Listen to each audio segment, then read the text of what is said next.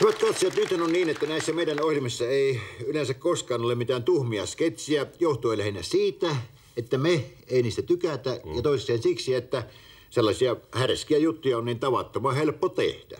Minä melkein arvaan, mitä tuo pitkä alkupuhe tarkoittaa. Niin minäkin. Se tarkoittaa sitä, että nyt on ilmeisesti tulossa hyvin tuhma näytelmä, koska sitä täytyy noin pitkään puolustella. Ei pidä paikkaansa, se ei ole yhtään tuhma, mutta sen verran kyllä täytyy myöntää, että siitä voi syntyä hyvin omituisia mieleyhtymiä, jos kaksi ihmistä puhuu täysin eri asioista.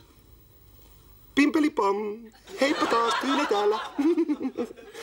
Anteeksi vaan, että mun täytyy tässä alussa pikkusen selittää, ettei näytelmästä tulisi liian pitkä ja että pysyisitte niin kärryillä. Tähän mennessä on tapahtunut seuraavaa.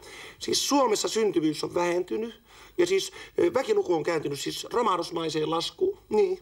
Ja eduskunta on sen takia säätänyt semmoisen lain, että jos aviopari on ollut siis viisi vuotta naimisissa ja heillä ei ole yhtään lasta, niin silloin tulee valtion määräämä edustaja ja tekee sen, mikä tehtävissä on. joo, joo. No niin, e, siis näytelmässä on alku seuraava. E, on pariskunta, jolla on viisivuotis hääpäivä. Rouva yksin kotosalla, mies on töissä. Edustaja saapuu.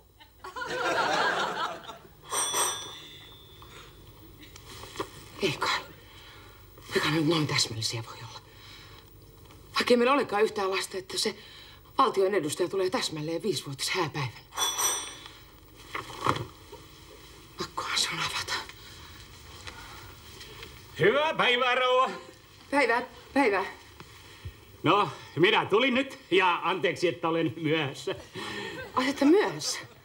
Tehän tulitte täsmälleen oikeana päivänä. niin, no kyllähän minä oikeana päivänä tulin, mutta olen sentään pari minuuttia myöhässä. Ai, pari minuuttia myöhässä. Niin. Ai, että se on niin kuin noin tarkkaa touhua. On se. Ei pidä antaa ihmisten odottaa.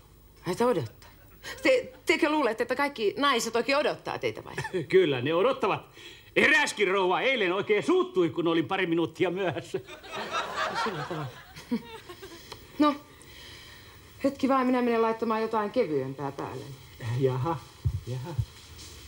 Onpa, onpa kummallista, että täällä on näin siistiä, eikä yhtään jälkiä lapsista.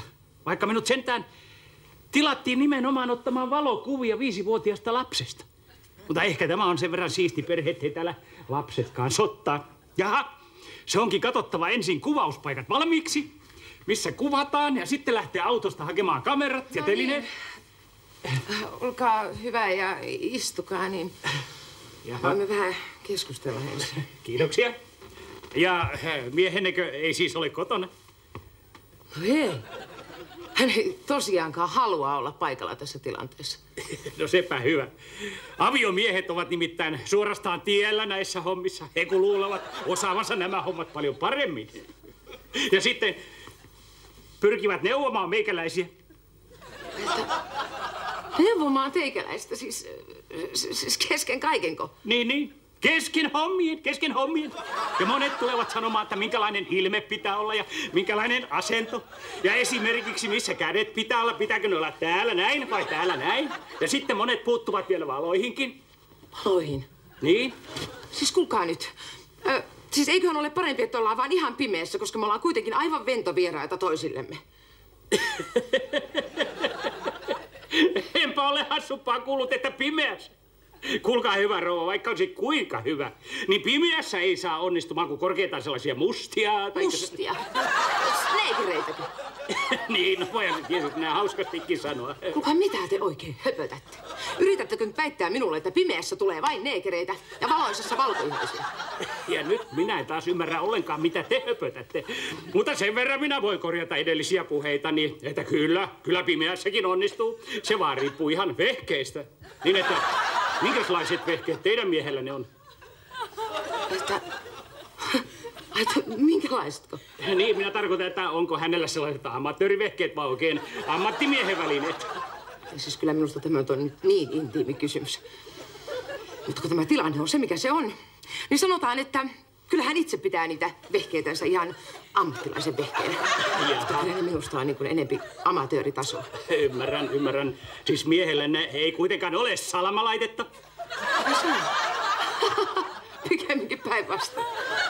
Se on välillä niin hidasta tuhraamista, että sinä on nauru meinaa tulla kesken kaiken. Ymmärrän, ymmärrän, hyvä rouva.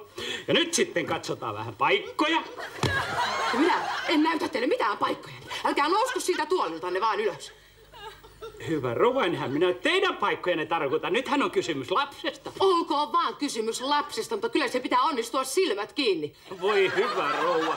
Silmät kiinni, se ei onnistu alkuukaan. Ja sitten katsomme paikat valmiiksi, missä näpsäytetään. Säytetään. niin, ehkä tämä näpsäytetään on hiukan liikaa ammattimiehen kieltä. Mutta minä ehdotan, että aluksi näpsäytämme kerran vaikka tuossa sohvalla, kerran kyydissä ja pari kertaa tuossa matolla. Oi hyvä syy, näin tiedä, että siihen tarvitaan noin monta kertaa. No parhaimmatkaan ammattimiehet eivät onnistu joka kerta, mutta kerta neljästä pakostakin tärppää.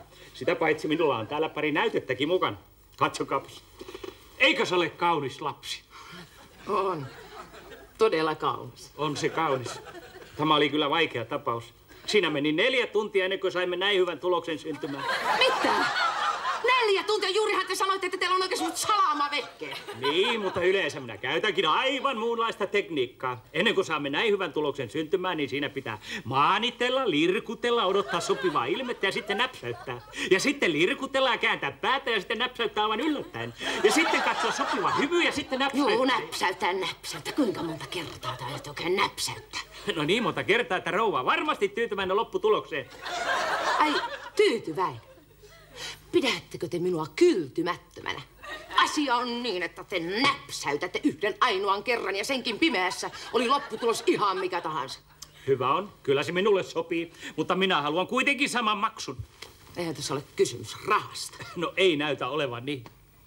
Kuinka kauan se teidän näpsäyttäminen kestää? No noin suunnilleen. Sadas osa sekunnin. Sen kauempaa minä olisi teitä kestänytkään. Ja sen jälkeen te painutte viivana ulos tuosta ovesta. Onko selvä? Totta kai. Mutta nyt, hyvä rouva, minä lähden autosta hakemaan telineen. Siis minkä telineen? No me ammattimiehet emme tee pelkästään käsivaralla näitä hommia. Ja sitten te saatte luvan auttaa minua sen kolmannen jalan asentamisessa. Että mitä?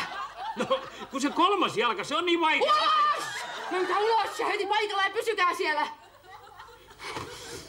Asia on niin, että jollei se amatööri saa lasta aikaiseksi, niin sitten vaikka erotaan.